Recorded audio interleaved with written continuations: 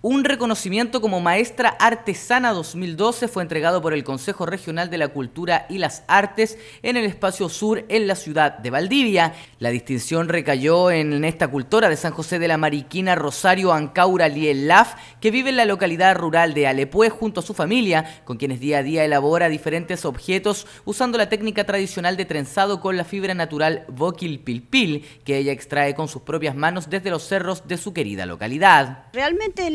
mi artesanía que trabajo y necesito